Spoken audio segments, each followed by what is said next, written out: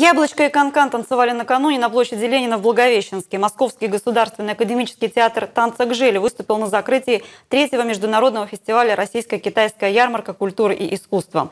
Артисты привезли с собой более тонны костюмов. В некоторых номерах принимали участие по 30 человек сразу.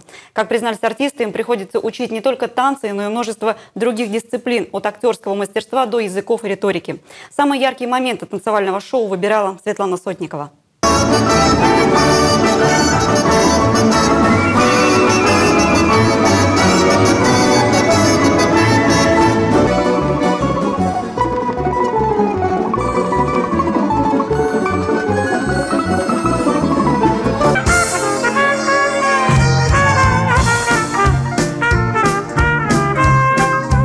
Своих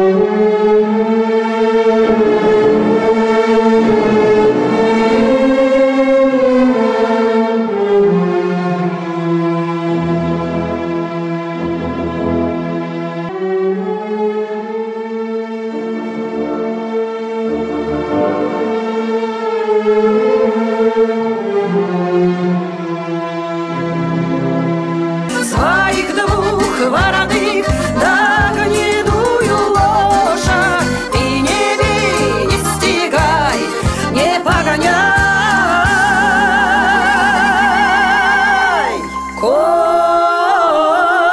Кони сами знают, сколько им до края И где этот край. Кони сами знают, сколько им до края